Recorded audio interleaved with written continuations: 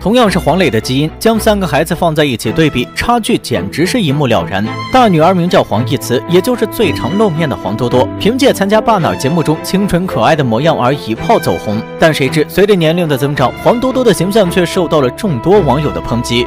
明明才十几岁的年纪，却有种已经人父的感觉。但值得一提的是，不管舆论有多么大，黄多多也依旧在坚持自己的风格。就连身为父亲的黄磊也十分支持女儿，而且在谈到女儿恋爱问题上，黄磊也。是语出惊人，我真的这么想的。我女儿要十五岁谈恋爱，我觉得正常，我不觉得叫早恋。恋爱就是恋爱，她青春期，然后懵懵懂懂，她情窦初开，我认为是美好的。为什么要是这个词儿就很混蛋？其实。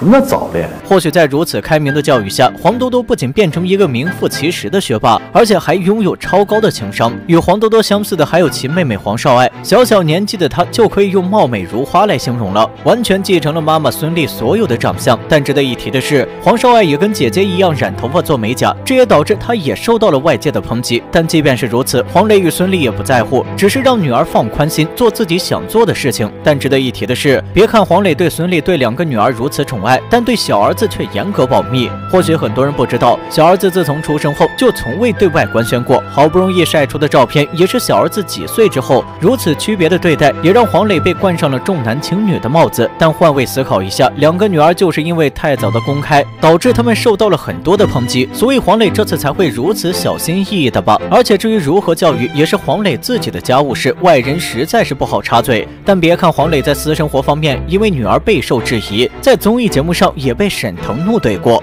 黄老师真是榜样，他是典型的那种样样通、样样俗的那种。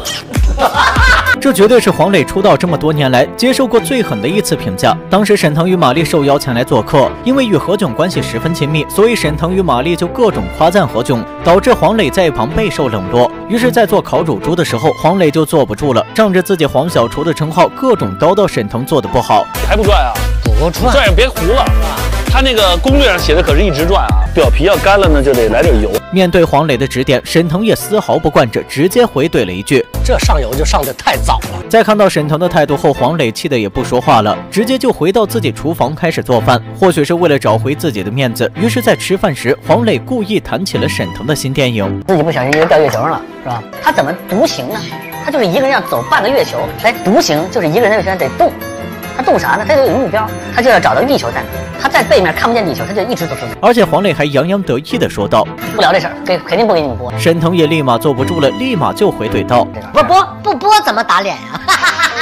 黄磊的脸瞬间就黑了。不得不说，在沈腾面前，黄磊完全被压制住了。不仅如此，黄磊以厨技高超在圈内出名，但沈腾在吃他做的饭时，却暴露了自己真实想法。尤其是在吃面时，虽然动作很大，但吃的时候却十分的小口。而反观在吃贾冰做的饭时，沈腾不仅一碗接着一碗，而且还直呼：“以后再吃。”冰哥的饭我们就不用夸赞，就是全是嗯，每吃一口嗯。由此可见，谁做饭真的好吃，简直是一目了然。其实除了沈腾之外，黄磊还曾在郭麒麟身上吃过瘪。干活去啊，在这发什么呆啊？我说现在的孩子真的啥都不会，真是要命。看到郭麒麟正面硬刚黄磊，才懂为何惹谁都不能惹说相声的。当年郭麒麟受邀前往做客，黄磊因为出道多年，所以在看到郭麒麟之后，立马就拿出了长辈的架子。你爸七四的是吧？七三的，七三比我小两岁。黄磊在听到郭麒麟的称号后，黄磊瞬间就不开心了。但值得一提的是，郭麒麟之所以这么喊，完全是出于辈分的问题。而且相声圈经常能听到喊大爷，这都是一种尊称。或许是察觉到黄磊脸色不对，郭麒麟立马找补。我以前。录节目，我老这样，看谁都大爷叔叔的。后来。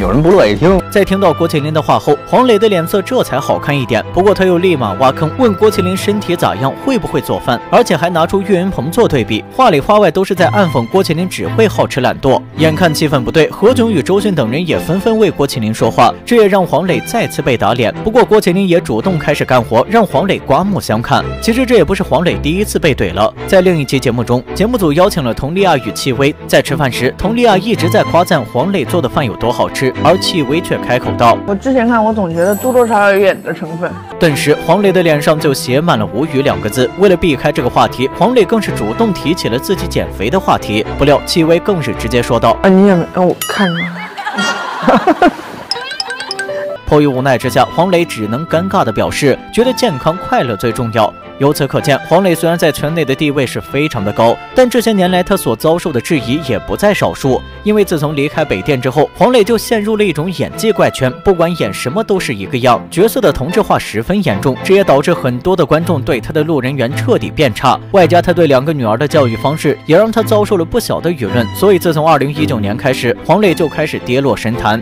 但可惜的是，他至今都没有想出办法挽回。不过如今的他将所有的重心都放到了家庭上，这对于他来说已经是十分满足的事情了。